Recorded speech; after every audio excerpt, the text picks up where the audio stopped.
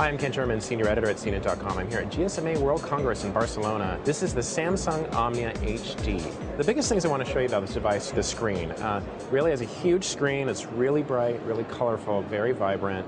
It looks really nice. It does play HD video. It does have Samsung's TouchWiz interface. You can see the icons all there on the side. It's very similar to the uh, TouchWiz we've seen on other phones in the US. Also, this is a 3D interface, and what you can do is you can slide that over like that. Kind of looks like the corner of a room. There's a little bit of an effect going on. It is a totally touchscreen device, so there is no keyboard, no keypad. You can see some controls down here. There's a talk and an end power key. It has a virtual keyboard. It is 8 megapixel camera as well. You can see the lens right there. There is a flash. Also has Wi-Fi, stereo, Bluetooth, uh, most of the email features you need, but really centers on that multimedia. I'm Kent German, and this is the Samsung Omnia HD.